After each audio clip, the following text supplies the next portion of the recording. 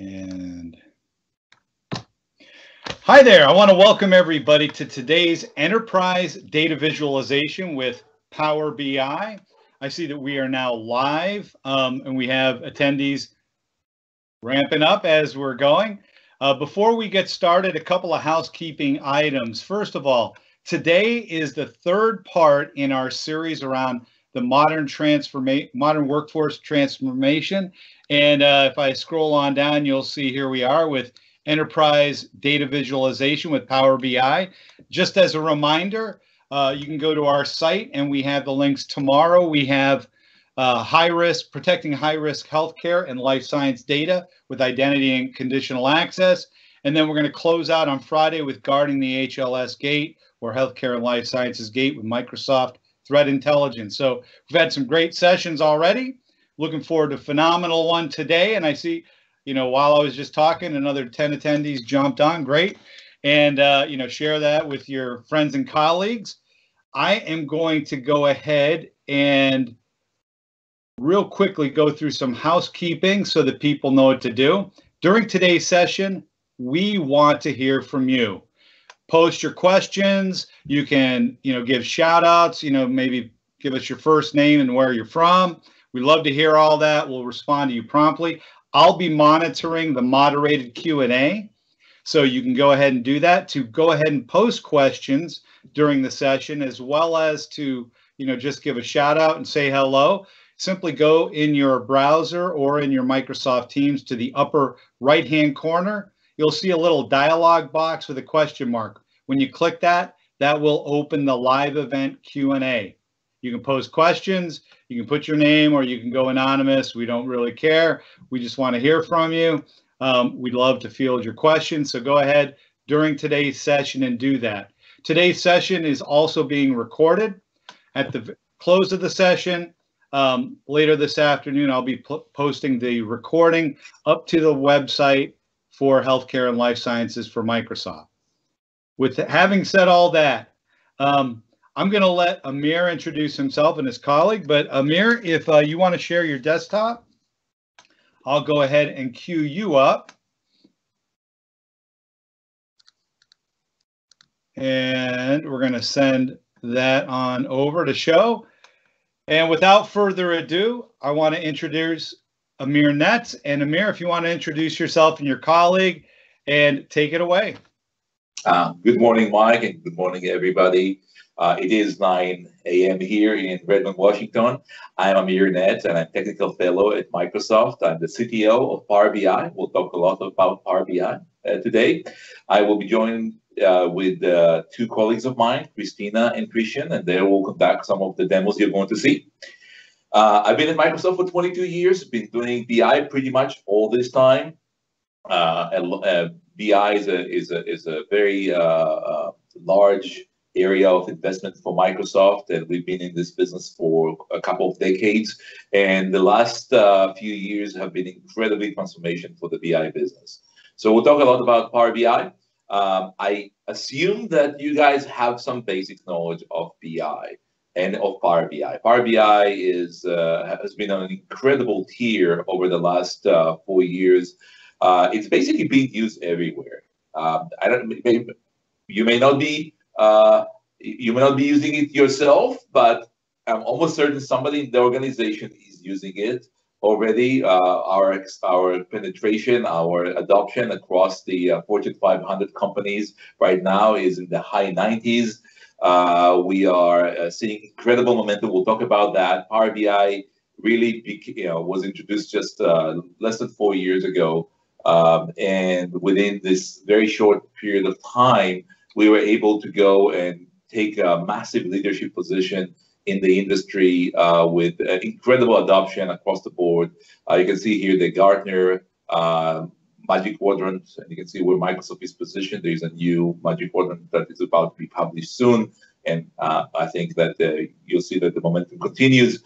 Uh, you, uh, we, it became a very, very large business for Microsoft. You can see here from Satya that talks about just uh, last winter, talked about how Power BI within such a short period of time has grown to become a very substantial business for for Microsoft, and we are now we have just closed the year and and I think I just projected the wrong deck. So hold on.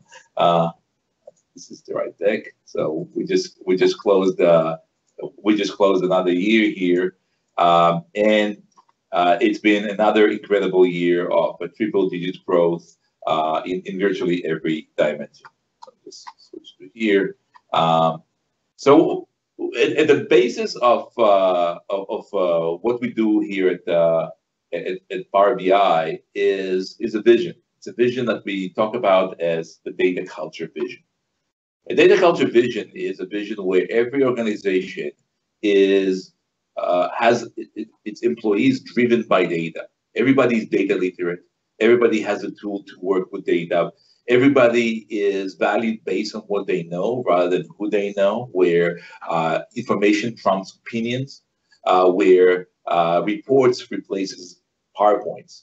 And, uh, and, and this vision of ours to really get every employee to have that tools to really uh, uh, drive data-driven decisions has been something that has really brought brought us this this incredible momentum and incredible adoption.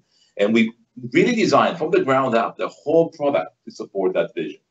And as I said, we, we didn't start from scratch. We actually had significant uh, IP to start with. As you know, we were working for two decades in the BI space, uh, leaders in the Magic Quadrants for over a decade. Um, but when we started, we said we're going to go and uh, with with this vision, we said we're going to go and really bet on this massive adoption with frictionless uh, process for every employee to go and within five seconds to be able to sign up to the product, five minutes to get their data and and get inside and say, wow, that's that's super cool. So we made a huge bet on the cloud. We'll talk more about the cloud. The cloud is, is a critical uh, element of, of our strategy and of the product value proposition. So frictionless adoption, build a single global system uh, for BI. And that's very unique. And people sometimes don't understand what it means to have a single global system for BI. It means that you, when you sign up to Power BI, it's like signing up to Facebook. It means that you are connected to everybody else immediately. You don't install your own virtual machine that is isolated from everybody else. There cannot be two Power BI systems within the same organization. There's only one Power BI system in the whole world where all the data, whoever is using data, loading data, uh, creating reports, creating analysis, sharing with everybody else, it's all in the same place. There are no silos, no barriers, no architectural separation. Um, and it doesn't really matter where you are, what company you are, you're all running on the same system. And That means that there is just no data that is hidden. Everything is governed together. Everything is connected together. You can share the, the thing that separates people from data is security and permissions and privacy, but it's not architecture. It's not geography. Um, so that that made a huge difference. Um, this this kind of Facebook-like approach to how to connect all the data together. The other thing that really was, uh, and I, I, have to say, sometimes we don't like to talk about it, but uh, but in this case, it was a very deliberate act of creating disruptive economics. When we released Power BI just a few years ago, uh, Power BI was released about at about one tenth of the price of the competitors, and that was very intentional. Uh, it it was it was uh, viewed as a way to really make sure that every employee can get uh, their hands on on BI. Uh, BI until then was really the the, the realm of business analysts, uh, people who are high, paid high uh, high salaries, and you can invest in them to give them very expensive tools. But if we really want to get to every employee in the company, we re- we had to drop the prices to by, by an order of magnitude. And uh, we've done that, and that's really drove uh, incredible adoption. Uh, and today, Power BI is by far the most used BI product in the world. In addition, we are the, the ability to relate to uh, our cloud deployment model allows us to uh, adopt a rapid innovation cycle that is unprecedented. Virtually every week we release new features on the service. Every month we release a new release, a, new version of our desktop tool, and everything is going through a very closed loop um, cycle with our community, our community of users. We'll talk more about those. Um, it's, it's a gigantic community that votes for their features, and those votes determine what we're building. So within you know this this constant release of features that are driven by the community has given us this incredible strength of a product is really becoming uh, really hand to glove uh, experience for for our users. So as I said, it is it is in the cloud. We are by far the largest cloud based BI tool in the world. Talking about by orders of magnitude. We are in 34 data centers worldwide. It's 43 languages. We are in, in individual national cloud uh, in the US, in the China, in Germany. We have virtually every possible certificate um, around uh, under the sun. I think we have like 34 certificate, uh, certificates here. And uh, as I mentioned, uh, incredible uh, ecosystem and community. I can see uh, the adoption, of the exponential adoption of the partner community, the rich offering around it. Uh, the user community has. One second, uh, Amir. Yes. Just I saw we had a number of more people that, that jumped on. If you have questions and want to post those so that I can queue those up for later for Amir, go up to the upper right hand corner of your browser or your client, you'll see a little uh, dialog box with a question mark on it. It's in between the leave and the gear. If you click that, it'll open the live Q&A panel and you can post your questions and shout outs there. I'm sorry for interrupting. I just saw we had a number of new people and I wanted to make sure they knew that. That's great.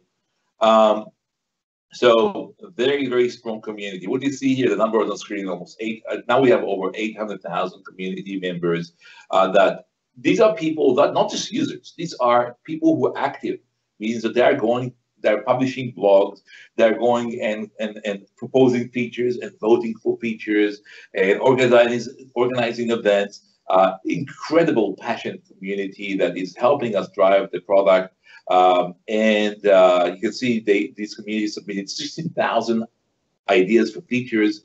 Uh, about 3,000 are, are active, means that they are still uh, in the backlog under development. We've been shipping hundreds of those features. In fact, if you look at this uh, chart at this table here, what you see here is just the number of features we have been shipping every month. This is just the first five months of 2018. Uh, this is the next five months of 2018, non-stop innovation.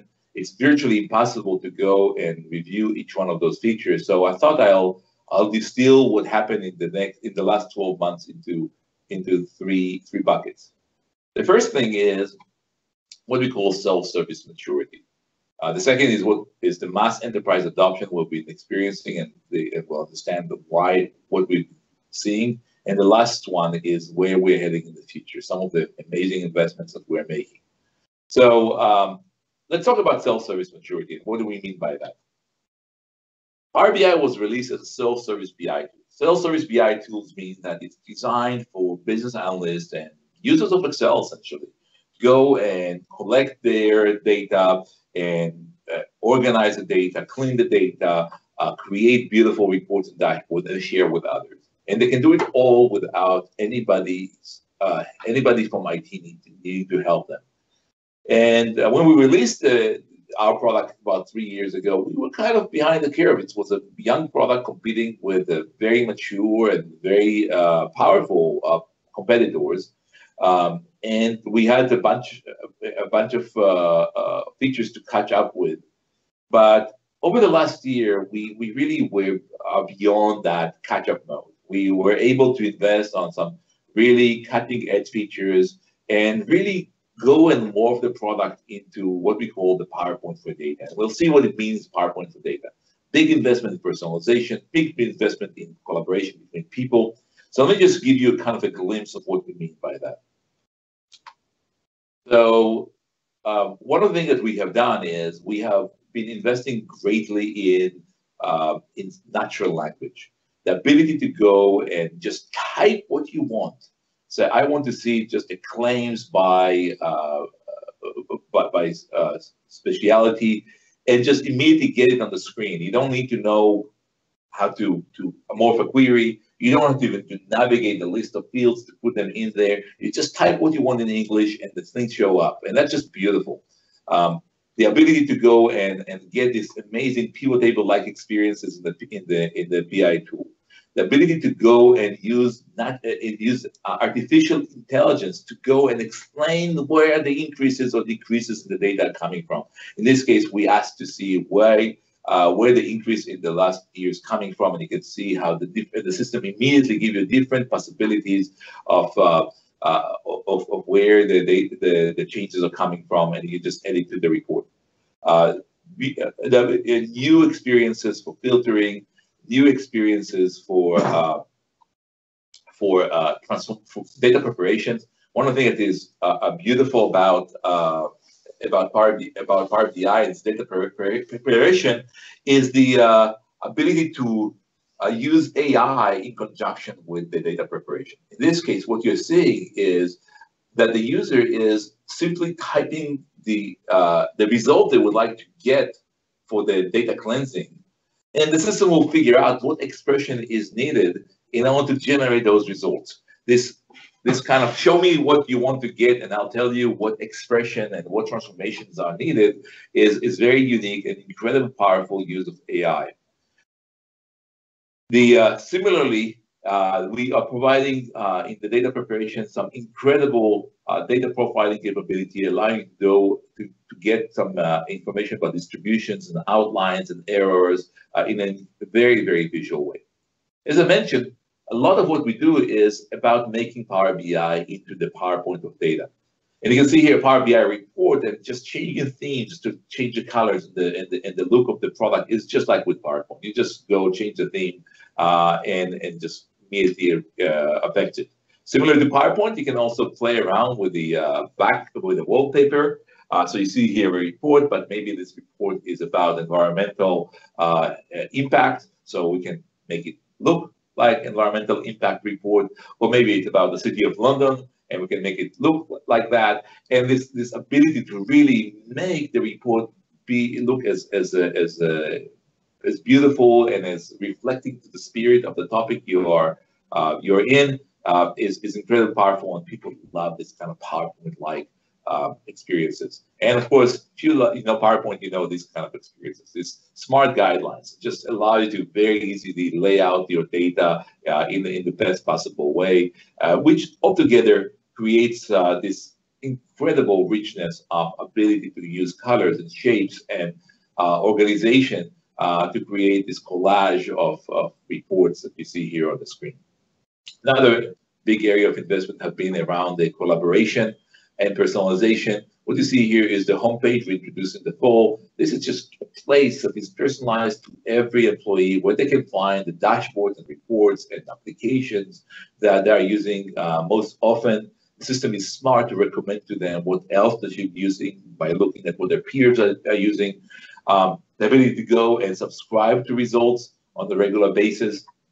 So you can say, I would like to get every morning this report delivered to my mailbox.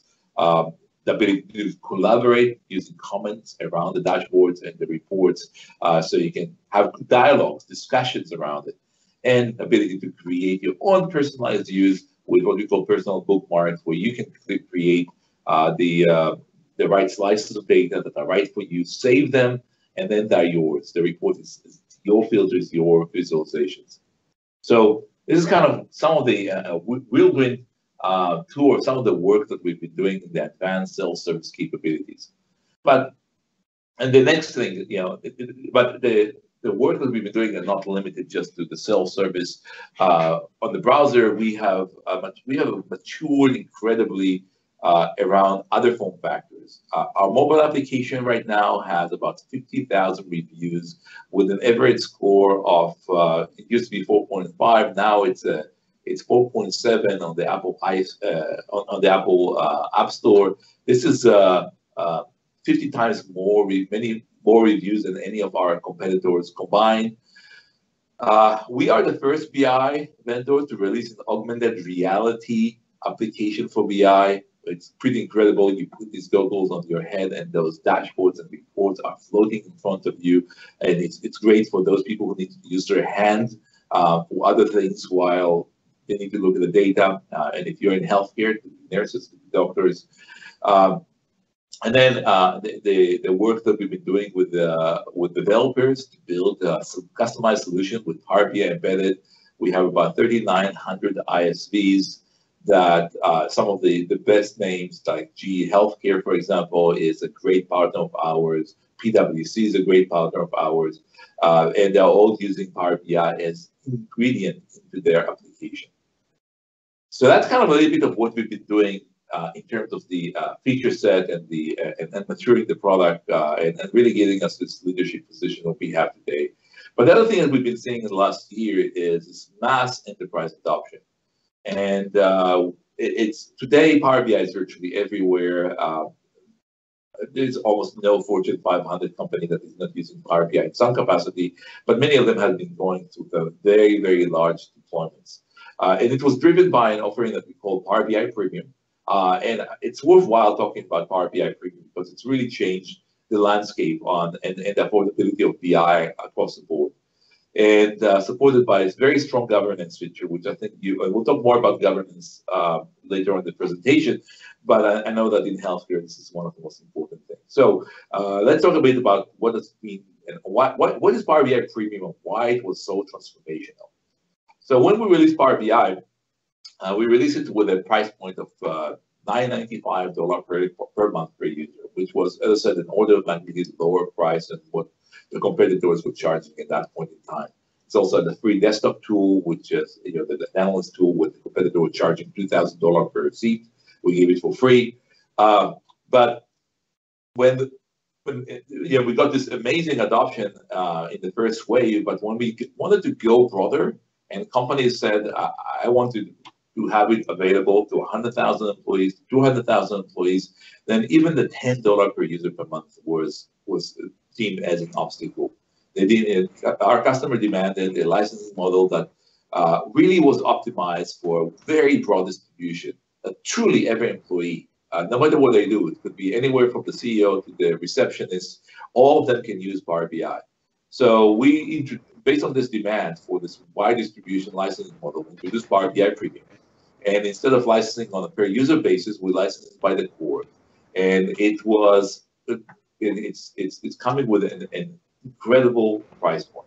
This is uh, what I'm showing here is a, is a price, and it's about five thousand dollar a month. And our recommendation that is about fifteen hundred users um, be be using this uh, basic, the, the, most common uh, SKU that we have, which comes down to about three dollars, you know, under dollars per month, which is kind of a couple flat per per employee per month. And with this kind of price point, and with an incredible set of additional features which are exclusive to this, uh, that are really designed for the enterprise, exclusive to these large organizations, whether they are the large model sizes or the ability to go deploy on multiple geographies or very large storage is built in. The result was an explosive growth that we've seen the, during 2018. Uh, companies from every possible industry has been adopting it. Um, and as I said, it's virtually everywhere today. Uh, but the, the broad adoption uh, of premium uh, was specifically was incredible. We had a 7x growth uh, during 2018. Uh, we had this led to to 100,000 applications being uploaded to the product every day. We are processing now over 10 million queries per hour, and 10 petabyte of data is uploaded into the Power BI service every month. This is kind of scale that we're talking here. And that scale actually that we have is what also allows us to drop the prices to uh, to a couple flat per employee. And because we can we got to these economies of scale where we are so optimized and, and we are so streamlined that we can afford to give it at, at, at, at, the price that is at this point one thirtieth of what the prices used to be. And the result is that now we're seeing organizations are standardizing on Power BI, and uh, and and this really uh, got us to the next phase where we're we're working now. Not you know BI started from in the in the world of uh, self service we're seeing now incredible engagement from IT organizations that want to adopt it in, in a very broad way. And this is where really the whole uh, the whole next phase of Power BI is, is centered on. And this is the what we call the future of modern BI.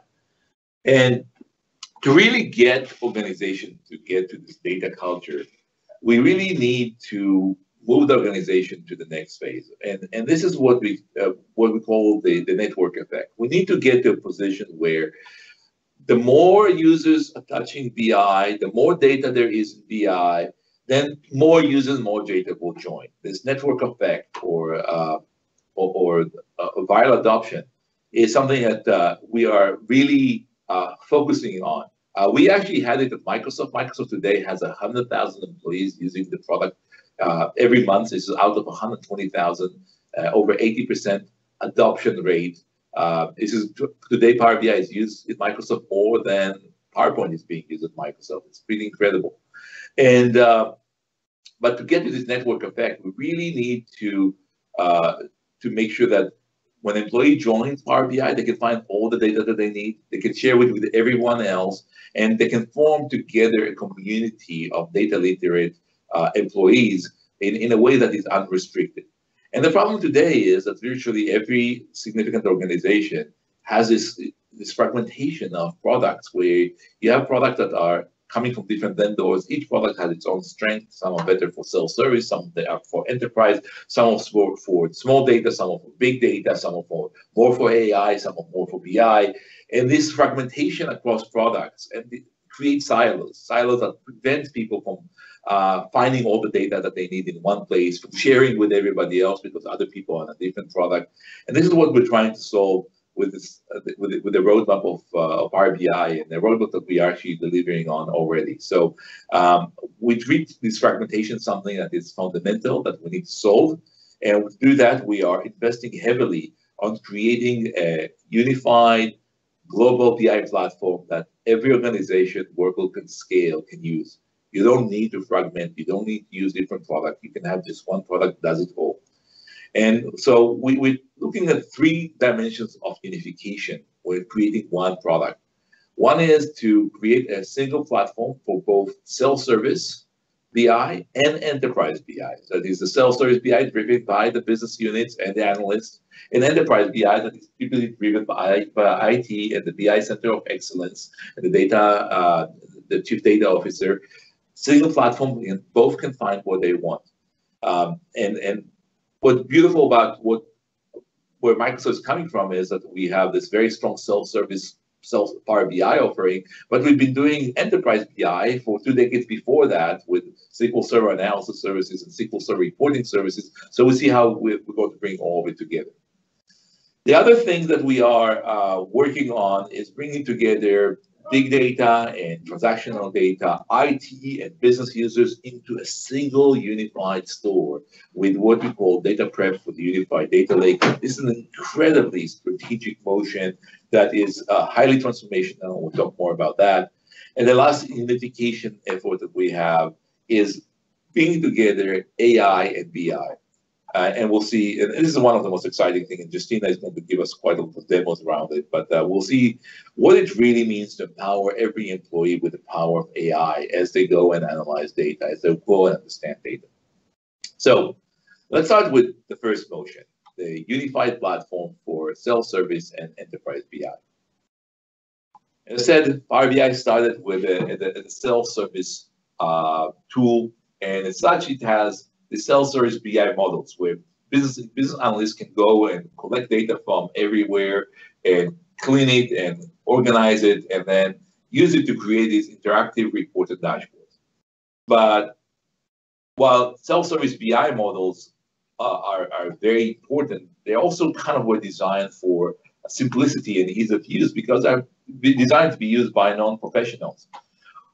But what we're doing now is we're bringing the full power of SQL Server analysis services into this enterprise grade semantic models. Well, what are the enterprise grade semantic models? This is these are models that really represent the full the full uh, dimensionality of the data in the organization. Um, they are typically much more complex. They could have hundreds of tables with them with complex relationship, sometimes with thousands of measures. And uh, they're large, they're complex, they need to be authorized, they need to be certified.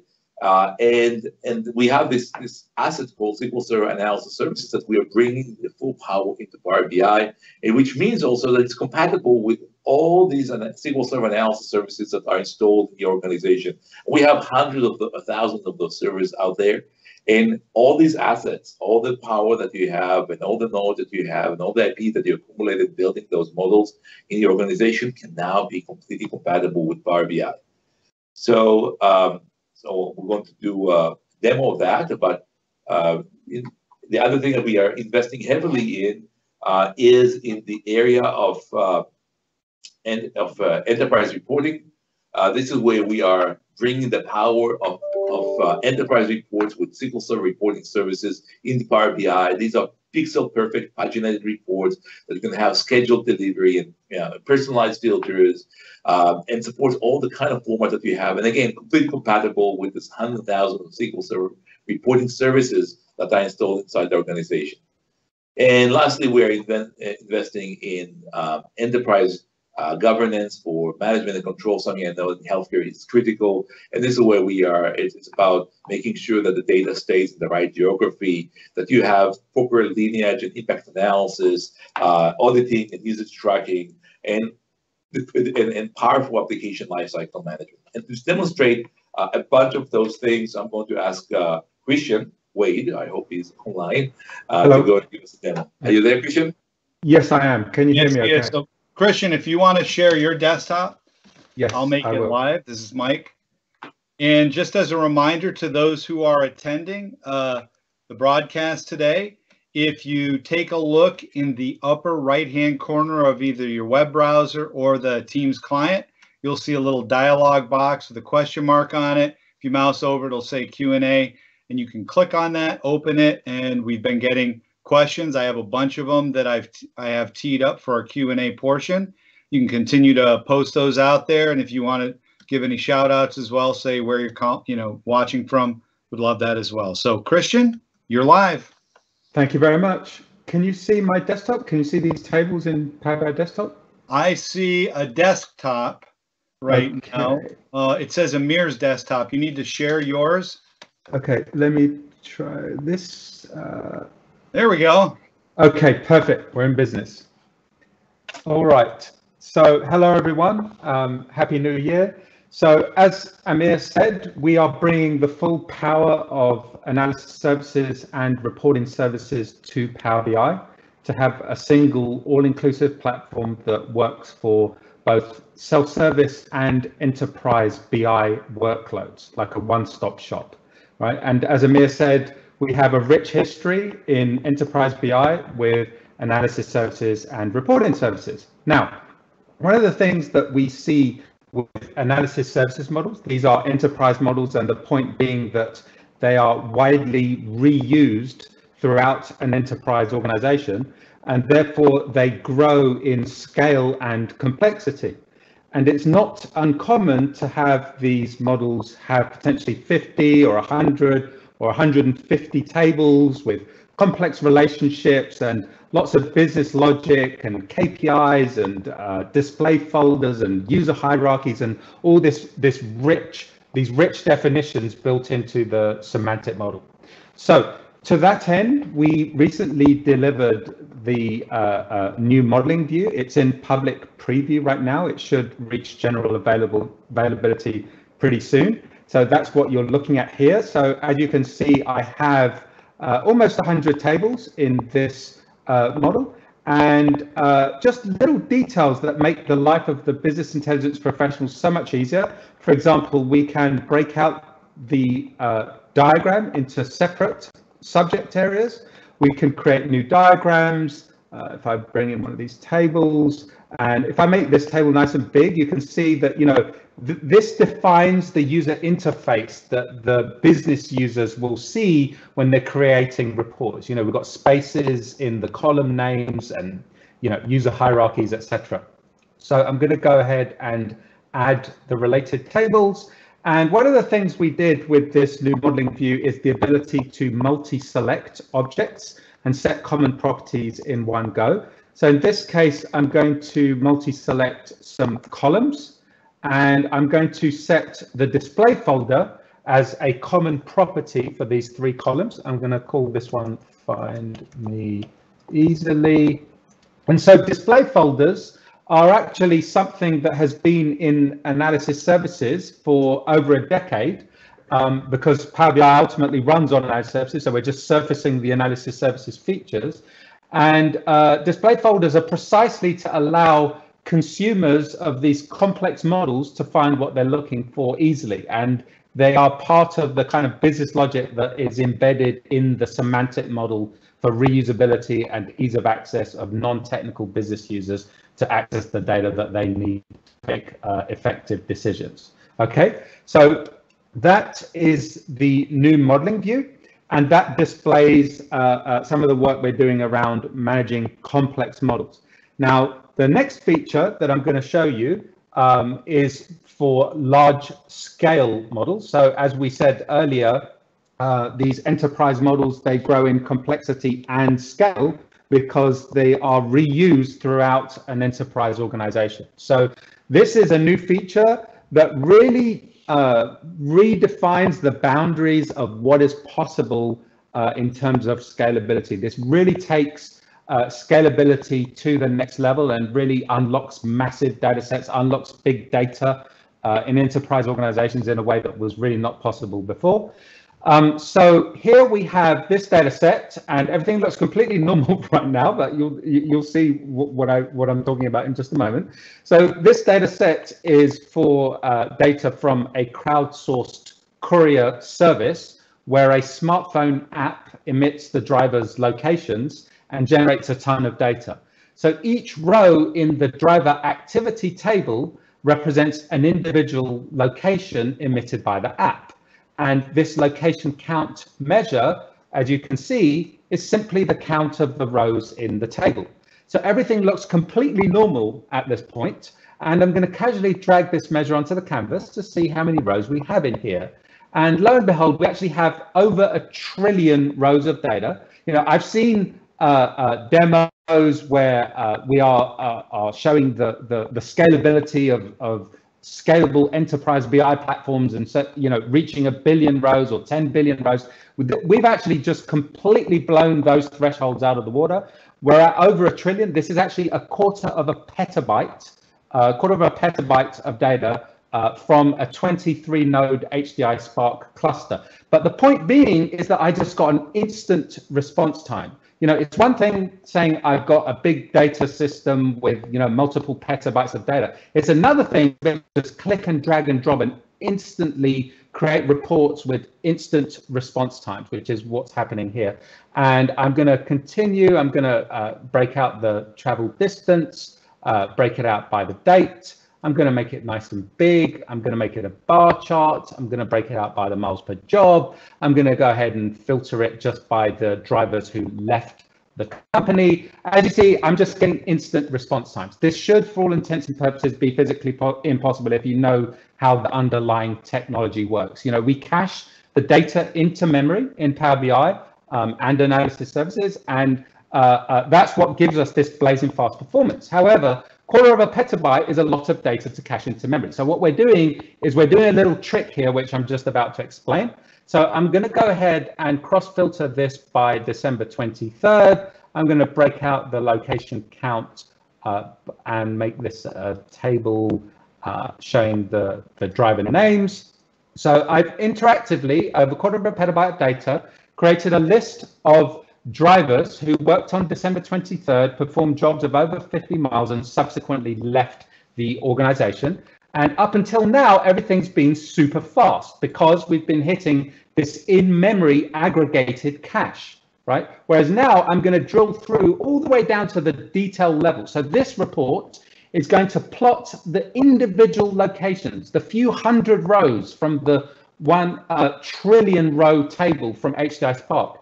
At this point, there is no aggregated cache. We're using this aggregations feature that caches the data at the aggregated level. And if the user happens to drill down to the detail level, there is no cache. So what then? Do they need to learn Spark SQL or run a different report? No, there's a seamless experience. It's just going to have to submit a direct query to the 23 node HDI Spark cluster, which is what it's doing right now. So we should be able to see this query running. And bear in mind, this is uh, uh, uh, this has a, a, trillion rows in it. Um, so it just takes a few seconds. Um, and it's almost, I think it's done already. Uh, so here you can see the query that was just submitted. And there's the filter and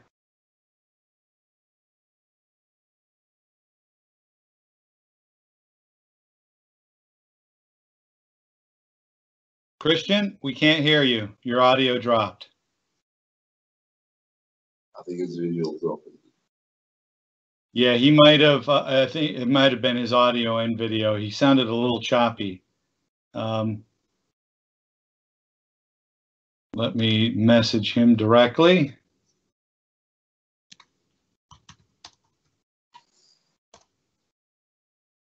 And that's the beauty of being in here in Teams. You can just toggle back and forth.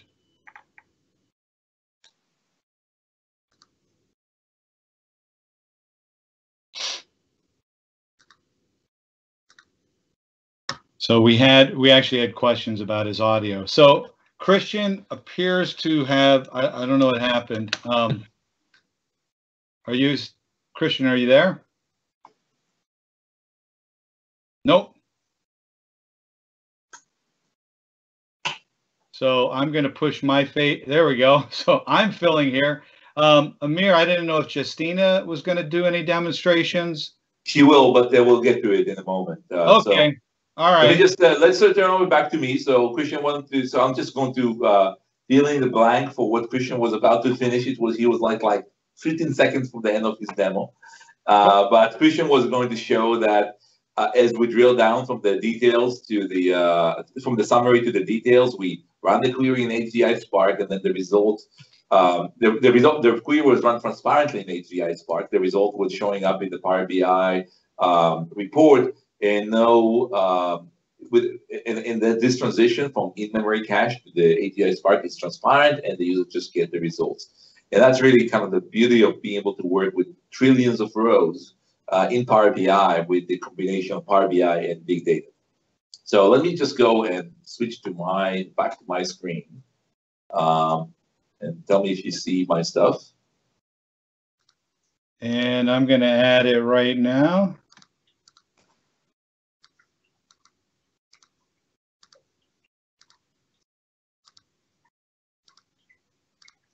There we go.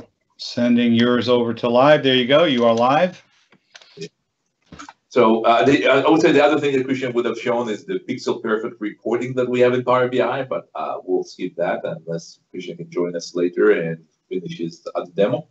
Um, but uh, what we have really, uh, with the ability to add the full power of this workhorse, SQL Server analysis services, and the other workhorse, SQL Server reporting services, in a compatible way to Power BI, it allows organizations that have those hundreds and sometimes thousands of those servers that today are installed everywhere, sometimes in data centers, sometimes on the people's desks, uh, that each of them is individual, siloed, ungoverned, often costly to maintain. It's ev everywhere in every organization.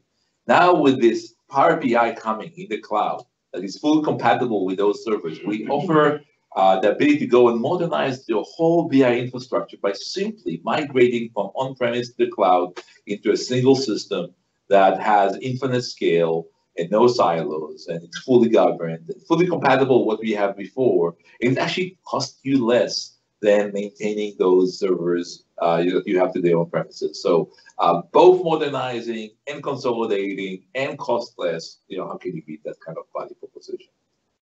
So I want to switch to the, next pillar of innovation that we're working on, which is the data prep for the unified database. Uh, and, and here we introduced uh, just uh, over a month ago a, a, new concept called a data flows. Uh, data flows are repeatable and reusable ETL processes that are designed for business analysts to create. Uh, it is using the familiar Power Query experience. I don't know if you guys have been using Power Query, but tens of millions have. It is an integral part of Excel. This is how you, you know, this is the how you bring data into Excel. It's, you know, I remember when I started uh, uh, in the 90s, I used MS Query to get data into Excel. Today, use Power Query, which is an unbelievable experience. We have tens of millions of users. It is shared between Power Excel and Power BI. It's exactly the same experience. And it's actually designed, it's incredibly powerful, it's designed the most complex challenges. Um, and the beautiful thing about the, the data flow is that it's operating on top of the Azure Data Lake. We'll, uh, so let's understand first what does it mean to to uh, to have uh, to be designed for the most complex challenges. Uh, Power Query has over 300 transformations supporting uh, actually today it's close to 100 data sources. It is designed for uh, data flows are designed for creating projects that are comprised of cross-project and multi uh, multi-authors. Um, and one of the most beautiful things about it is that it has this revolutionary computation engine that handles all the registration that is that is around data transformation and cleansing, uh, which ensures full data consistency. And now, what is this revolutionary computation engine. The best way to think about it is to think about the Excel calculation engine. Compare Excel to programming. If you are doing programming, you have to handle the variable, you know, you have variables that you store data in them, and you have lines of code that code manipulate the variables and compute new variables out of the other variables. And you are responsible for writing the lines of code in the right order so the computations are done for you in, uh, correctly uh, and not not to you have to remember every possible condition and make sure that it's accounted for in every possible way. And then you have Excel where you, you don't have to write any line of code. You just write the expressions and the system figure out on itself what is the order of the computation and how to do it in the right way that is always going to give you the right results. What we've done with data flows is exactly the same thing. All your transformations are actually built through these M transforms uh, this is the language behind Power Query that is just like Excel. It's an expression language. We analyze it, we understand the dependencies between the transformations, and we orchestrate it the same way Excel is orchestrated the calculation across cells. And this ensures, just like with Excel, that you cannot make mistakes. At least the mistakes cannot be because you did things in the wrong order or forgot some forgot some stuff. We figure out automatically all the order, the the flow, the uh, the exceptions, and manage it all for you and just allow people that don't have any experience in building computational systems um, to, to use data flows to in the same ease of use of Excel. So that's the revolution computation engine. The other thing that is super cool about uh, about the data flow is that it's operating on top of the Azure Data Lake, which really means is that when you're using data flows, every piece of data you are uh, ingesting into Power BI, uh, every piece of data that you are transforming on is all happening in this Azure Data Lake, which is shared across many other uh, systems.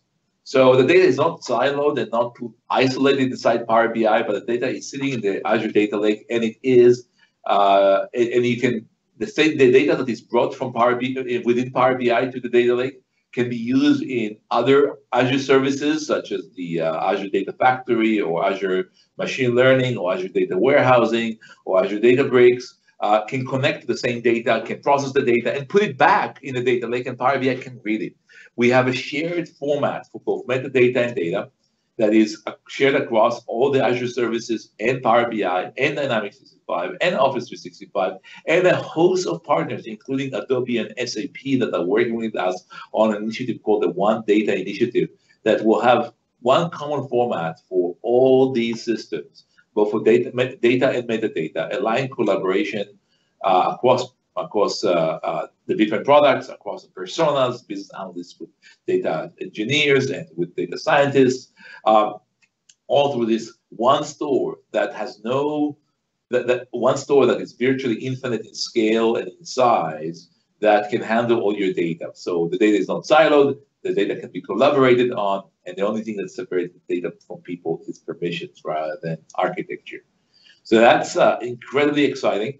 And I'm going to uh, ask Justyna to give us a taste of uh, Power Query and data flows. So Justyna, we're going to transition to you. Yeah, so Justyna, if you want to share your desktop. Sure. Um, so I'm doing that just now. Let me know when you're able to see. You're live. Awesome. All right, so over here, um, I'm inside the Power BI service, and you know, you've got your dashboards, you've got your reports, but now we see we've got this new tab over here called data flows. And over here are a bunch of existing data flows that I've, oh, I've gone ahead and already created. But let's go ahead and actually create a data flow from scratch to see what the process looks like. So I'm going to click on this create button over here. Again, I can create, you know, and author new dashboards reports, and I can just create new data flows in the same way. And I'm going to start from completely from scratch I want to go ahead and define new entities. So when I click on this new on this button, you know, this this interface that you see over here should look pretty familiar. Similarly to how in Power BI I can go ahead and connect to multiple different data sources. Over here, I can go ahead and start my data flow, for example, from connecting to Azure SQL database. So I'm going to go ahead right now and connect to uh, connect to Azure SQL. Uh, I'm just going to go ahead and copy the credentials over here. And I'm going to select uh, a particular table inside this Azure database. Um, so I'm going to select um, this over here, which is representing a, a number of different hotel reviews. So in this scenario, let's pretend I'm a hotel manager. Uh, you know, we could apply, apply this scenario to multiple different things. So if we think about healthcare, we could be looking at a number of different hospitals. And I'm loading in some data that's showing me uh, basically information about various reviews that are coming from my guests uh, for a number of different hotels. And again, this interface should look very similar. Uh, it's basically leveraging the Power Query technology, but putting it inside the Power BI browser. Um, I can do transformations just like I can in Power Query. For example, over here, if I want to change this to, let's say, just the date, I can just do that. A new step gets created on the right-hand side over here. And at any point, as I'm doing my various transformations, I can go ahead and actually see, go into Advanced Editor and see all of the different M steps that have been uh, generated. So again, if you're familiar with Power BI and Power Query, when I'm transferring my data inside my Power BI desktop file, these are the same steps that are getting generated, except this time they're getting generated inside a data flow. And this is a very, very important distinction because when I'm when I'm basically done and I've created all of the different transformations inside my data flow and I click done, and I go ahead and save this. I'm going to just save this as let's say for here. What I have done basically is created a reusable ETL flow that now I can reuse in multiple different scenarios. Beforehand, when I created uh, my Power Query transformations inside my Power BI desktop file, those were locked to my Power BI desktop file. So I could for sure, you know, publish it into the service, but if I wanted to share my work with others and you know have them build their own reports, for example, on top of the transformations I have done, I would not be able to do that. I would not be able to build multiple reports on top of that same, um, essentially that same those Power Query steps. With data flows, you're able to do all of that because all those transformations now essentially live inside the Power BI service, and we have decoupled the data preparation from the reporting. So now there's multiple different avenues I can take. I can take this hotel reviews data flow and uh, use it on top of other data flows. And I'll show you guys more complex data flows and what those look like in just a second. I could connect to it in from the Power BI desktop and create own, my own reports, and others could do the same as well. But Amir mentioned a really important point over here where this all of this data is actually being stored inside Azure Data Lake. And uh, if you start out with data flows, um, you know, it's a completely frictionless and seamless experience. We have an inbuilt Azure Data Lake directly inside Power BI, so you don't need any sort of, you know, Azure subscription to get started. It's a completely frictionless process. But at some point, as you're getting all of this data into Power BI, you're going to want to do more. You're going to want to collaborate with your data scientists. You're going to want to collaborate with your data engineers. Similarly, work that's being done inside Azure, you may want to be able to leverage directly inside Power BI. So at any point you want, you can go ahead and essentially it's as simple as flicking a switch inside Power BI and configuring uh, the data flows storage to actually be your own Azure subscription. So in this case, we can actually see that the, that data flow storage location isn't the inbuilt Azure Data Lake inside Power BI, but it's my own storage that I have gone ahead and configured. So it's sitting inside my own Azure subscription. And we can actually take a look at this. We can go ahead and jump into the Azure Storage Explorer. So I'm going to bring that up over here. And you can see that this is uh, CVSA, BYOSA, DAV, you know, this is the basically the location. So I'm going to jump, ahead into my Azure subscription over here. I'm going to go and basically uh, find the same data lake that we, we're seeing over here. And I'm going to select the Power BI one. And what you're seeing over here is actually all of the different workspaces that are available to me from directly inside Power BI. So I'm going to scroll down and uh, I'm actually inside the Ingest Dynamics workspace. I'm going to double click into that. And you'll see the same data flow I just created has appeared over here as a new CDM folder. So if I double click into this, what you'll actually see is both the data sitting inside one of these folders, but also a model.json uh, definition file. So let's just actually download this and take a look at what this looks like. So I'm going to actually just select my documents folder over here. And what you'll see is essentially a description of all of the data that's basically sitting inside this data flow. So if I jump into my documents over here, just bear with me one second. And I'm going to just double click this and I'm going to open it with Notepad. And let's make this a little bit prettier because right now this is uh, looking a little bit hard to read. So I'm going to just uh, format the JSON over here. And you basically see what I've gone ahead and created. So you see a definition of the entities. You can see I've created this hotel reviews entity. And you can see all of the different attributes, um, such as, you know, whether something is a string. Um, and you can see any transformations that have been carried out as well. And this is super important because this basically model.json file can be understood by Power BI, but it can be also understood by all of the different Azure data services inside Azure. So we are not only, you know, working as Power BI to make this sort of reusable ETL, we are collaborating with Azure Databricks, we're collaborating with Azure Data Factory, with Azure Machine Learning. And all of these different services will be able to read and write the same CDM folders that you're seeing over here, which contains this JSON definition as well as the data. So we can now have a full collaboration story across all of the different um, Azure data services. Now, um, the other side of the other angle of this is, of course, also being able to create much more complex uh, data flows. The one I've created over here and showed you guys is a very simple, um, you know, example where I've gone ahead and created one entity and I can now use this entity either inside Azure, inside Power BI. But over here, if we take a look at some data flows we've created over here, and I'm just going to change this to the diagram view, you can see how much more complex we can make these flows. So we can connect to data from multiple different uh, data sources. And then we can actually link these different um, data flows together. So different data flows can feed into data flows. Now, if I want to go ahead and refresh one of these data flows, it actually knows what the dependencies are across the different data flows. So it knows what it needs to refresh in order to be able to use this, utilize this data.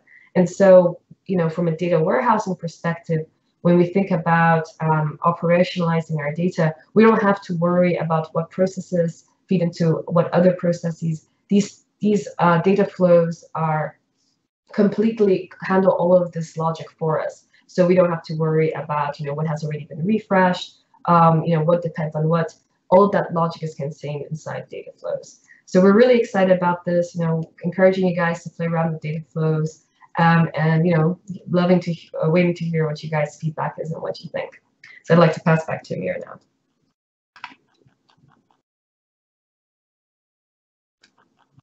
All right, Amir, did you want to share your desktop?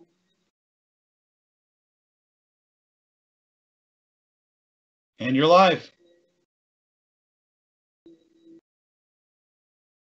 You're on mute. Amir. You're on mute, though, Amir.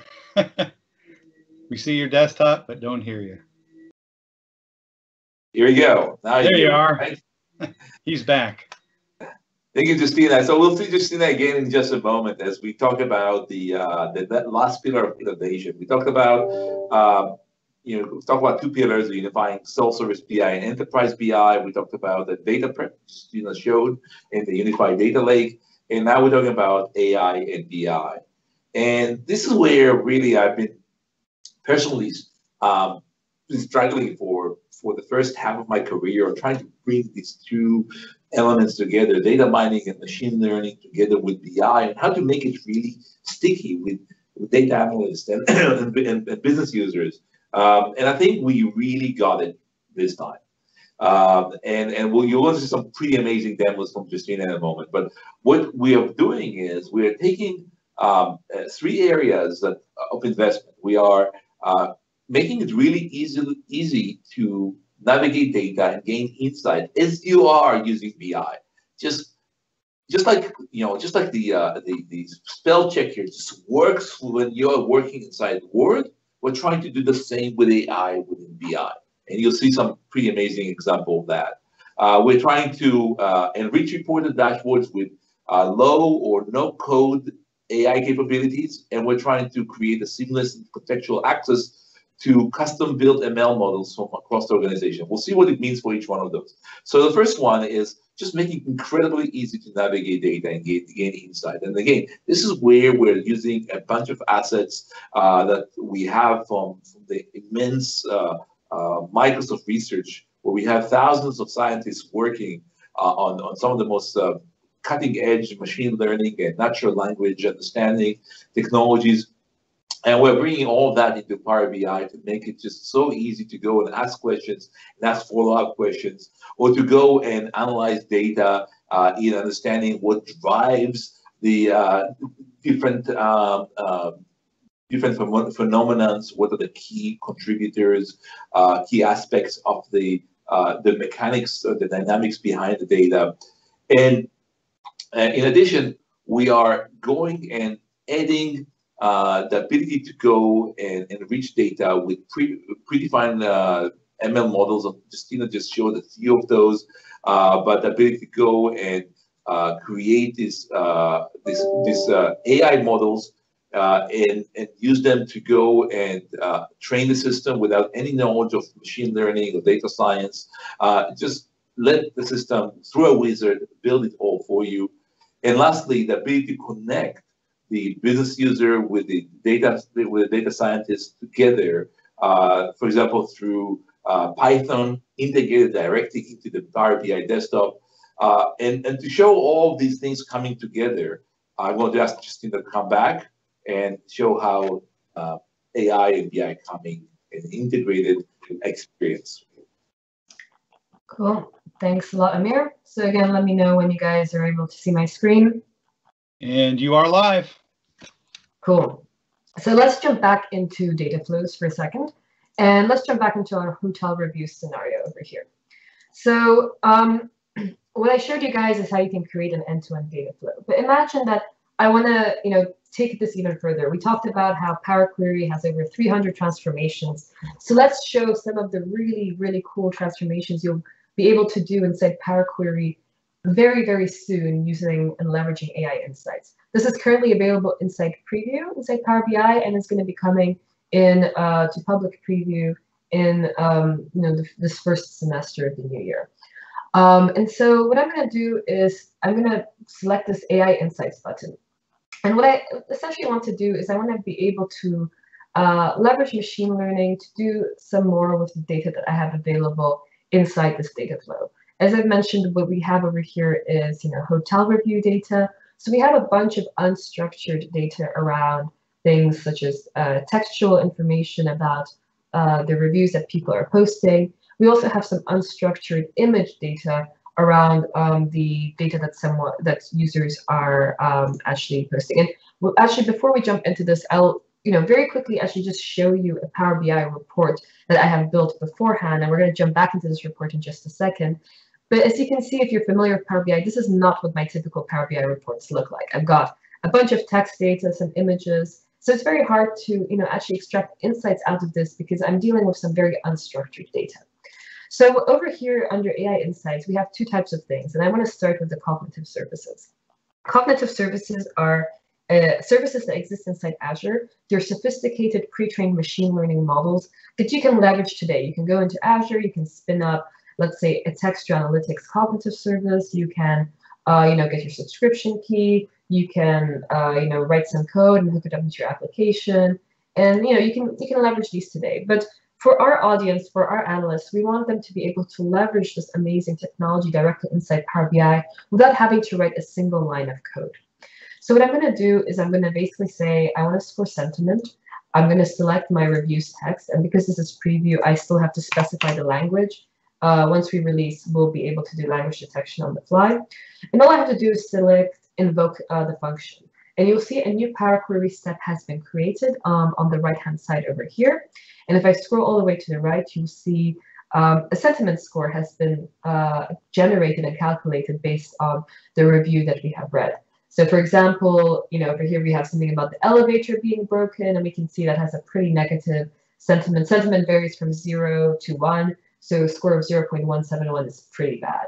Um, and so we can carry on and adding new types of um, cognitive services. We also have things for, let's say, doing key phrase extraction. So again, I can do the same thing. All I have to do is say, use the text field, invoke the function. And what we're going to do now is we're going to go through, you know, the data row by row and extract out all of the key phrases that are meaningful um, to that particular uh, review. So again, we're doing things like removing stop words, removing common words, and figuring what you know what is important. So again, for our elevator was broken, you know, one of the keywords that we found was elevator. But let's say we want to do something a little bit more complex. We want to actually be able to leverage a sophisticated machine learning model has been built inside Azure by our data scientists. So we actually want to collaborate with our data scientists. We don't want to just use the out-of-the-box technology that has been brought into Power BI. And so you'll notice over here we have this um, folder for Azure Machine Learning Models. And what this basically does is it allows us to bring in and recognize all the machine learning models that have been shared with me um, as an analyst. Generally, when data scientists and analysts collaborate, it, it's, it's, there's a lot of friction. Data scientists like to create their models inside their environments and then kind of throw it over the fence and they're done with that.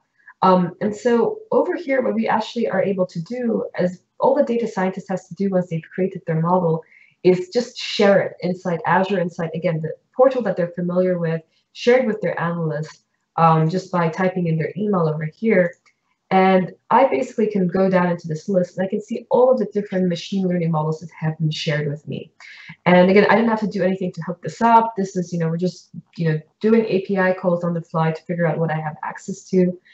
And as an analyst, I want to use this hotel image model over here. All I have to do is say, well, point it to um, where my images sit because this uh, model is quite a simple model in terms of uh, the inputs. All it requests is an image URL, and I can just select invoke.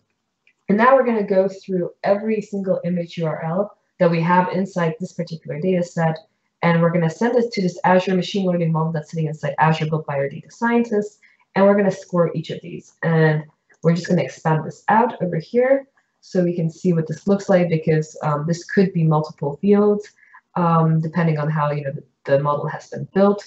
But uh, you know, if we just wait for a second, we'll be able to basically see what the machine learning model has assessed in every image and what kind of uh, thing it has found, because we want to build something that's a little bit more specific for hotel images. Uh, so you know, again, we can see these are the tags that the model has come back with based on the images that it's finding. Okay, so now that we've kind of cleaned up this data, we've added some structure to it, let's see what we can actually do back in Power BI. So I've skipped a couple of steps. I've actually, you know, created my data flow. I've connected to my data flow directly inside Power BI desktop. And let's take a look at what kinds of things we can do. So the first thing I'm going to do is I'm just going to reduce these um, uh, text reviews a little bit, and I'm going to unveil this amazing word cloud that I have created over here. And what this word cloud is, is actually uh, showing me all of the different key phrases that have been found inside my textual reviews. So I don't have to now sit here and read through hundreds of reviews to get an idea of what's going on. Um, in this scenario, I have five hotels, and what I can basically do is just now click on one particular hotel and automatically cross-filter the top words that are appearing um, that you know people are basically using to describe this hotel in their reviews. And I can see things like, for example, construction popping up. So that might be important for me as a hotel manager. You know, why are people talking well I, I presume people are talking about construction there's construction happening in the hotel but are they you know are they really unhappy about it if it's coming up in the reviews? So i can condense you know my kind of analysis very very quickly to the top things that are being talked about without having to read through hundreds of reviews and naturally just cross filter my data like i always do inside power bi another thing i can do is you know if you remember we actually went ahead and found sentiment scores. So i'm just going to go ahead and plot sentiment and I'm going to plot it by hotel name over here. And now very quickly I can see uh, and get an idea of which hotels uh, you know people are happy with and which ones they're not so happy with. So we, you know, we get an idea of which hotels uh, people are posting the most kind of negative reviews about. Let's see if we can kind of get a little bit more data about this. So not just, you know, what the you know hotels that people are unhappy with. Let's see if we can get something a little bit more uh, qualitative around this. So over here, you know, if you remember, we actually found the image tags. We used the machine learning model to figure out what was present in every image. So I can actually just bring, instead of using um, hotel name, I can cross-correlate the sentiment scores with the images that have been found and get a very quick idea of, first of all, what kinds of things are people posting and how happy are they about posting those things. So, you know, not surprisingly, we see things, let's say, like water view that um, have, you know, a lot of, uh, you know, generally positive reviews. And we can scroll all the way down and we can see that the most negative reviews are for some whatever reason about ACs. And so if I click on this, you know, it's kind of not surprising. We see some, you know, not so great looking ACs. If we go through our various reviews, we see things about, you know, broken ACs, loud ACs, dirty ACs. So again, very quickly, I can isolate kind of the sorts of things people are unhappy about with my hotels. And I can actually see that, um, you know, the hotel with the most negative reviews is also the one that has the most AC kind of complaints by the looks of it. So again, you know, this is kind of a fun example, let's say about hotels, but you could imagine how this could be applicable to lots of different industries, ranging, you know, from healthcare to finance to retail.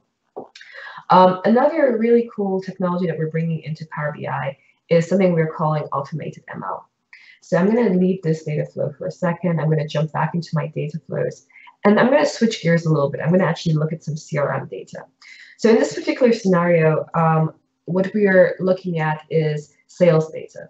And I have a report that I've built over here that's looking at um, you know, my closed sales and it's looking at my open pipeline. But as an analyst, I want to be able to provide my business users with a little bit more. I don't want to just tell them that, you know, this is what your open pipeline looks like. I want to add the predictive element to help them forecast how likely they are to meet their quota and what the what sort of opportunities they should be prioritizing. So I don't necessarily want to maybe hassle my data scientists to go and build their custom model. I want to do something myself inside Power BI. So with automated ML, what I can basically do is I can click on this brain icon that you can see over here, and I can add a new machine learning model. And we have lots of different models that we're bringing to Power BI. Uh, I'm going to just select the binary prediction, which basically means I want to predict uh, two potential states. In this case, I want to predict whether an opportunity has been won or an opportunity has been lost. So I'm going to select next. Um, I want to build this on top of the opportunity entity. And all I basically have to do is say, I want to use the win-loss field as my historical outcome field. So this is going to show me, um, use basically look at historical data and show me what kind of opportunities have been won or lost. And over here, I basically select which fields I think might have had an impact on whether an opportunity has been won or lost. I don't know this for sure. Um, you know, Power BI has already got, kind of gone ahead and done a best guess for me in terms of the fields of things I should use. I can tweak these around, but it doesn't matter if, you know, all of these fields are not going to be useful because uh, essentially, all of the magic is going to happen behind the scenes. Uh, I'm just going to give this um, a name uh, over here. I'm going to give this a label. So if it's true, we want to say it's a win. If it's false, we want to say it's a loss. And that's it. That's all I have to do in terms of creating this machine learning model. Now, behind the scenes, what Power BI is going to do is based on all of those potential fields I've basically thrown at it, it's going to say, well, these are the fields that actually matter the most. And I'm now going to try and run 20 different predictive models, and this is the one that actually works the best. And these are the parameters for that model that fit the best. So I don't have to worry about doing any of this. Power BI does all the heavy lifting for me. And this is going to take a while because um, you know the model training does take a couple of minutes. So again, I'm going to fast forward a few steps and show you once you know basically training has been done. Uh, I get a report that tells me how well my model has performed, how well it is at predicting the wins and predicting the losses, and I can even see what are the most important factors in uh, basically carrying out these predictions. So for example, incident count is very important, and we can actually see that, well, if you have a lot of open incidents, you're much more likely to lose the opportunity, which intuitively makes sense. I can, if I'm happy with the model, I can apply it to my data set, um, and then I can actually just use it inside Power BI. So I'm going to jump into this pipeline risk page I've created.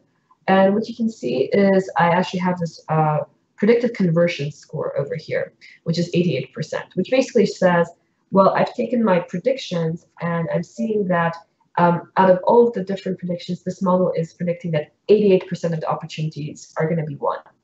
Um, and I can even plot this by opportunity. So here I'm actually plotting my confidence, which is coming out of my machine learning model and blending that with data that's coming out of my BI model, such as my estimated revenue. So how valuable is the opportunity and all the different opportunities that are present over here. So very quickly, I can identify problem areas for me that I may want to focus on. For example, this opportunity has um, a high estimated revenue and a low confidence score. So um, as an analyst, I should probably make sure that my business user sees this and uh, you know they can then make the decision to focus on this or to you know figure out what the best actionable kind of next step would be. So this is the automated ML technology. Um, the another really cool uh, technology that is going to be coming into Power BI uh, into the desktop actually in February in preview is um, something we're calling the key influencers visual. So an area that we really want to be investing a lot more in is um, this concept of building AI visuals directly inside Power BI. So currently, you know, you can build, you know, your bar charts, your scatter plots, but we want to be starting to build visualizations that are driven by some um, some insight, some intelligence behind the scenes. And these, you know, have a very low barrier to entry, and analysts can build them like just like any other Power BI visualization, but um, they're actually using machine learning behind the scenes. So here I've actually done a few first steps. I've um, selected the visual. You can see it's just another visual appearing in my uh, visualization pane over here.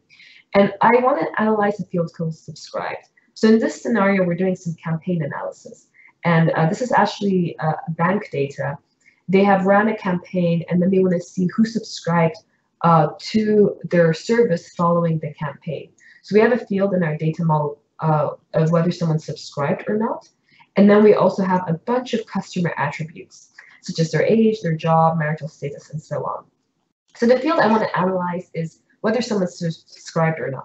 Now I can start to dropping fields and see what things might potentially be impacting this field. So one field might be something like their education level. And I'm just going to drop that into explain by. And you can see immediately things have updated. We can see uh, some factors have been found based on education, and we've actually identified two types of education that are influencing subscriptions to BS. Uh, I can drag in something like jobs, marital status. I'm just going to keep dragging these variables in. And you can see that as I drag them in, the visual is actually running a new machine learning model every time on the fly by just recalculating based on the new fields. And then we can see education as tertiary is actually much less of an influencer than it was at the beginning. The biggest one is actually when the job is equal to student. So when someone is a student, what we basically found out is they're much more likely to be subscribed to the service than uh, when essentially they're uh, any other um, type of job. And we can see the average over here, and we can see how much la larger it is for students. Actually, uh, almost 29% of students subscribe to um, the service uh, following the campaign compared to the general average of 11%. The next most important factor is actually um, housing loan being no. So again, if you don't have a housing loan, you're much more likely to subscribe to the service. And I can just keep, you know, jumping through these various variables um, to essentially understand what are the key influencers for this field that I am analyzing. What I can also do is not only, you know, interact with uh, this visual, I can interact with other visuals on the page and have this visual just completely uh, recalculate and rerun the machine learning model on the fly. So in this case, I've clicked on landline. So now we're just looking at people who were co communicated to by a landline for this for the campaign.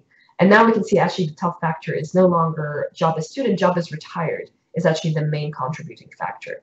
So, you know, again, we are just recalculating, we're doing machine learning on the fly, but it's so quick because it has to be, it's all contained within a visual. But now, you know, here we're just looking at one factor at a time. Imagine we want to start grouping these factors and looking at things together. So this is where this top segments part comes in. And what I'm going to do is I'm going to jump into the segment one, which is the most important one, and we'll see what this actually shows us in just a second. But what segment one basically shows us is 25% of people in segment one subscribed, which is 14 percentage points higher than the general average of 11%. And we can see that what segment one actually contains is, well, if education is tertiary, housing loan is known, um, marital status is single, and you don't have a personal loan, if all these things are true, then you are much more likely to be successful with this campaign than when you know, when uh, than the general population. So when you're running another, you know, campaign in the future, um, and you know, you're kind of looking at this data, what this analysis is telling you is this is probably a segment you should be investing in because you're going to be much more likely to be successful than the general population. And again, I can just jump through the various segments. You can see all of the variables updating uh, to see, you know, what other segments have been found by the machine learning model. Um, the final thing, just a really, really quick uh, point I wanted to make, as you know, Amir mentioned, we have, uh, you know, Python integration that has come into the product. Um, so, you know, what this basically looks like, if you're familiar with the R integration, with Python, you can just build visualizations using Python directly inside Power BI. And so all I have to do is basically select uh, a number of fields I want to use for my analysis. I'm just going to drag these in over here. Um, uh, what I, again, I'm, because I want to do this very quickly, I'm not going to kind of explain the scenario, but I'm just going to go ahead and I'm going to copy paste a Python script over here. And I want to show you guys a very quick sneak peek of a feature that's coming next month. We haven't actually haven't talked about this publicly yet, so it's quite exciting. But not only can I, you know, run this particular Python script and, you know, in this case, I'm creating a visualization that's um, not actually available, you know, in Power BI as a swarm plot. So I can extend Power BI with visualizations, you know, that I might want to be able to build that I can't, you know, do natively by building these swarm plots. But you, what you'll actually see over here is we've also introduced IntelliSense directly into Power BI with the Python uh, editor. So, you know, I can actually now um, have a much easier time in being able to create my Python scripts because we have IntelliSense directly built into Power BI, which is really, really cool. I'm very excited about this. So yeah, this was, uh, you know, a lot of very cool AI coming into Power BI. Again, we'd love to hear you guys' feedback, and I'm going to pass back to Amir. Thank you, Justyna. I'm going to share back my, my screen here. Um, if you guys see me. You're live. Okay, great. Um, so I'm going to, you know, I know we have a bunch of questions, so I'm going to try to wrap up as quickly as possible the uh, the uh, uh, whatever is left. Uh, so basically, what you've seen is is kind of where we're taking Power BI, we're unifying the self-service enterprise BI data prep for uh, unified data lake for all data coming from both BI and from the data engineers, all in one place and the pervasive uh, use of AI integrated into BI, which is just unbelievable, what Justyna just showed you. And this really takes Power BI from this very powerful self-service tool that really is about data exploration, consumption, and in a self-service manner to a very, very complete platform that really brings everything together from data lakes to the dashboard, from self-service to uh, full enterprise governance, from paginated report to interactive exploration, from slicing and dicing to uh, AI-driven insight, from megabytes petabytes, all in one package, which really is deployed in a single global unified BI platform that can carry every workload and every scale and this is really going to be the key to enable data culture everywhere.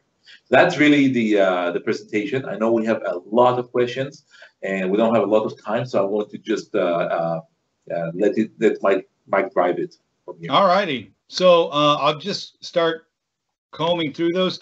Some of these you've already answered, so we you know we'll we can just kind of gloss over them. But very quickly, the first one says, can sensitive information types in Office 365 data loss protection or DLP evaluate data in Power BI?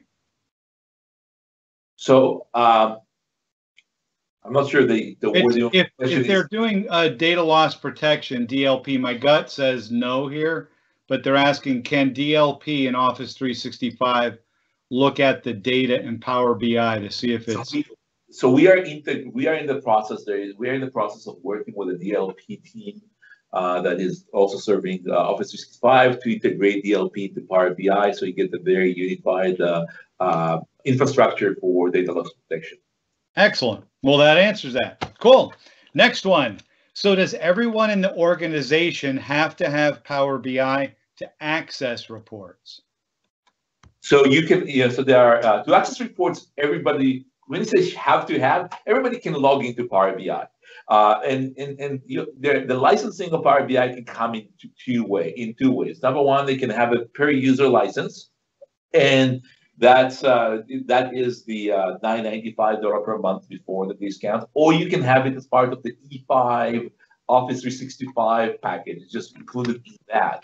So you can buy it standalone, you can buy it as part of the Office E5 version, or you can buy Power BI Premium, which Power BI Premium doesn't require people to have any per user license. It actually works by the, the license scores, and then the, we don't limit the number of users can access it as long as your uh, compute power is sufficient. You can support as many users as you want.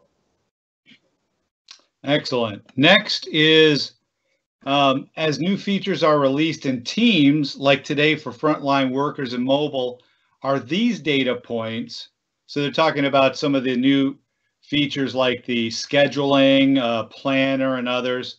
Are these data points available for Power BI analysis and reporting? Uh, we have uh, about 100 connectors to various data sources. I'm not sure exactly the uh, how team stores its data, so I don't want to be very definitive, but it's it's virtually there's no piece of data that cannot find its, its way into Power BI, and you can awesome. analyze. Um, this was around the, you mentioned augmented reality. It says, what augmented reality, oops, skip down. What augmented reality platforms does Power BI show in? Is this targeted at Microsoft, mixed reality, and HoloLens? Yes, it is currently targeted Microsoft uh, mixed reality and HoloLens. Yes. Awesome. Um, do you have industry total cost of ownership analysis? Um, not, not really. Uh, we uh, the generally Power BI is getting very high marks on ease of use and, and uh, ease of administration. The fact it's a single global service makes sure that you don't have fragmentation and the, the total cost of uh, ownership is very low and the licensing cost is unbeatable. And I think this one's uh, looks like it's related. They're asking um, what is the typical number of users for a break even to move from user model to premium? Um, so it's, it's kind of fairly easy to do the math. Um, after 500 users, you should be starting to look at the premium. Um, so basically, think about it: it's five thousand dollar the premium model, and the the per user model is ten dollar per user. So you divide five thousand by ten, you get five hundred. Uh, typically, you, when you go to premium, you still need a few users, several, you know, certain number of users to be still on pro for authoring. So it's probably more than 500. So to get to 600 or so, that would be the break-even point uh, to move from one to the other.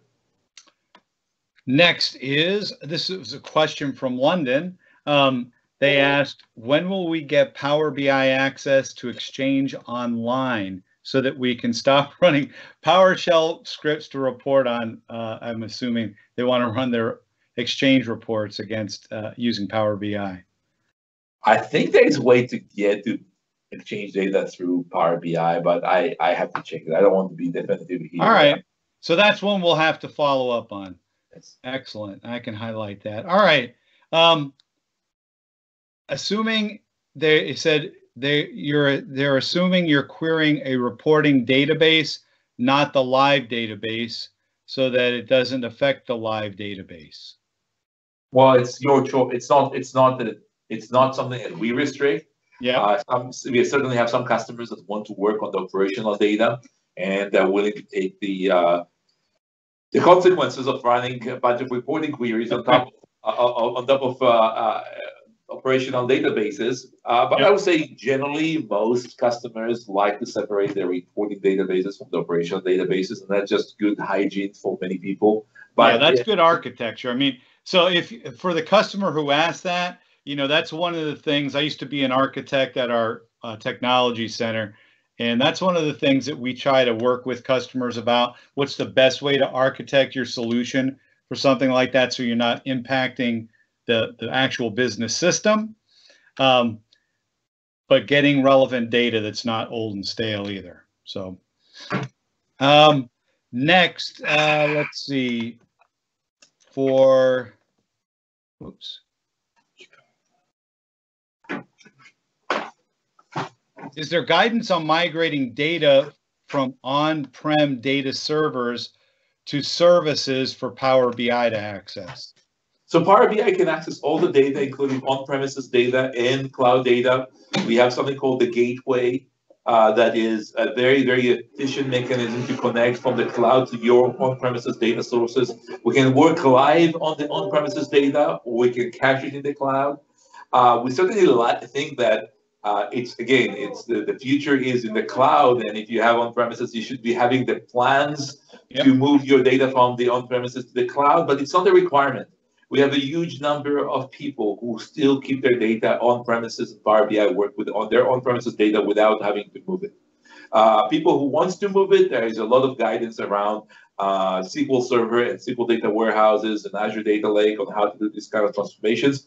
But uh, don't make it, don't take it as a requirement for Power BI. You should do it because it's the right thing to do. And if you decide not to do it or it's not the right time to do it, Power BI says it's okay with us we will work with whatever data you have on premises, no problem whatsoever. Absolutely.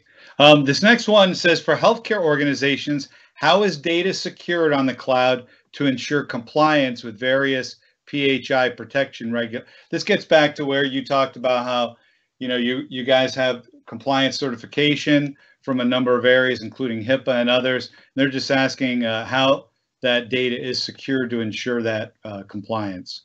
So, so there is a, a, lot in that question, and there's a whole big white paper of how we secure the data in the cloud. We have all the uh, healthcare uh, HIPAA uh, certifications. So, first of all, it's certified. So, the people who needed to look through it and through the uh, healthcare certification uh, lens uh, you know, did do that, and, and, we have uh, the certification. There's a white paper that we can, Mike uh, can probably send around the link to uh, yep. that describe all of it. I will say that generally all the data is always encrypted at rest.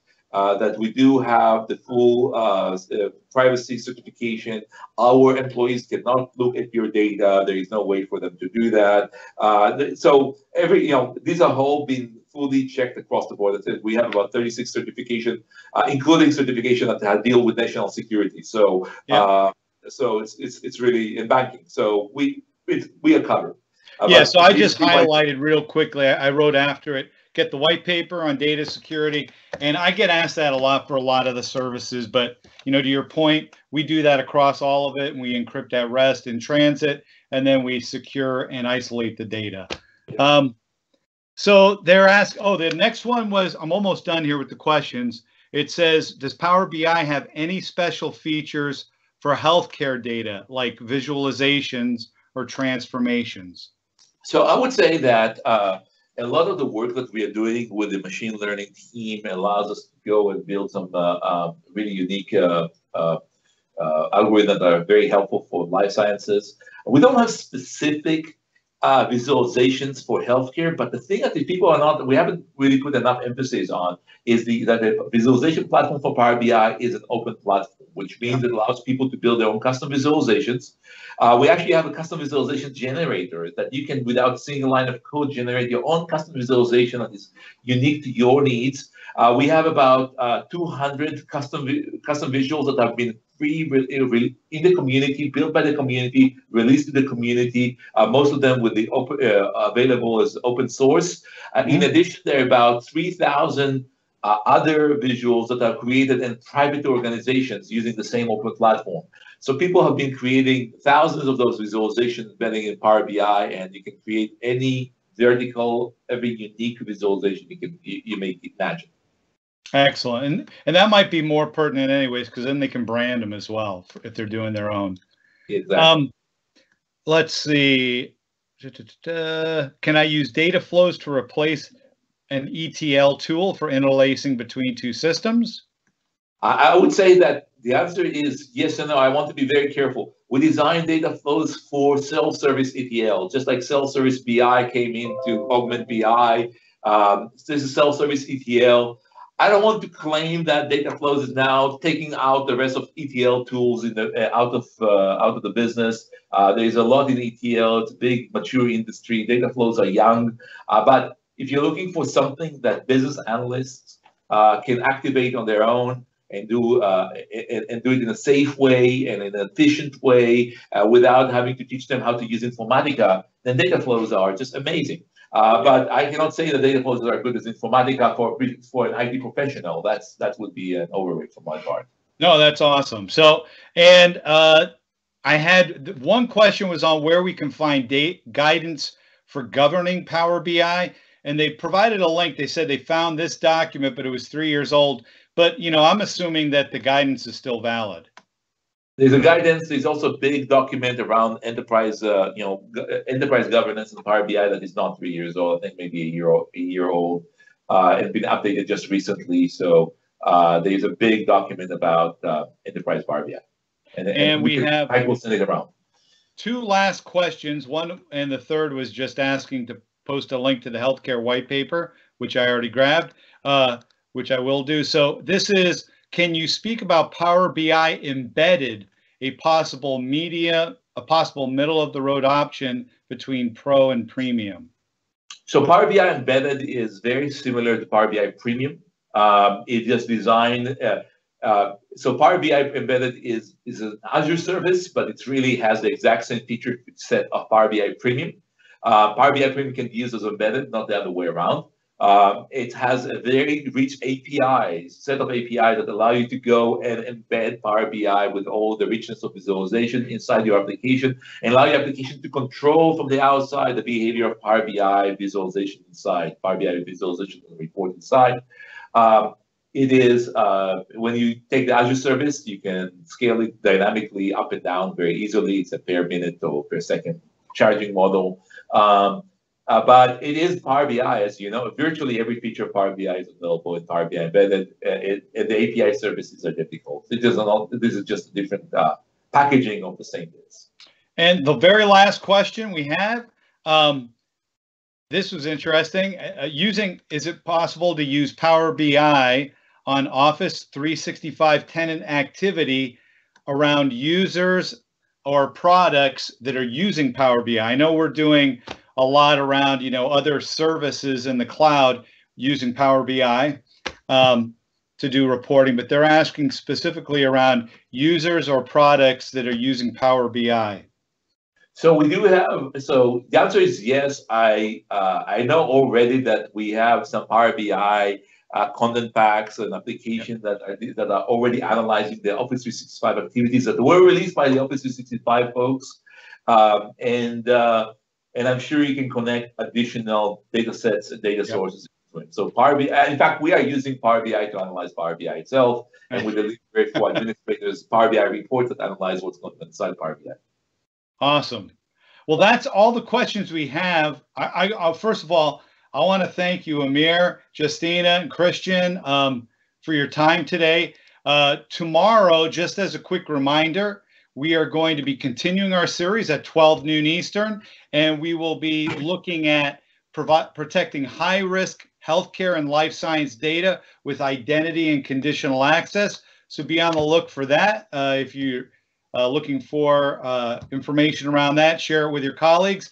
This afternoon, I will post the recording of today's presentation along with the one link to the white paper. Um, and then I don't know, uh, Amir, am I able to share the slides that you were presenting today? Yeah, we can. We will be able to share the slides. Yes. Yeah. So, well, they'll send those over to me, and then I'll add those to the post as well. And all that will be able you'll be able to find on our Microsoft Healthcare and Life Sciences blog that is up here on the TechNet, or excuse me, the techcommunity.microsoft.com. So I want to thank everybody again for joining. Michael Gannotti here. And again, special thanks to our guests, Amir, Justyna, and Christian. And to all of you who've tuned in, I want to thank you. Have a great day. Take care and see you tomorrow. Ciao.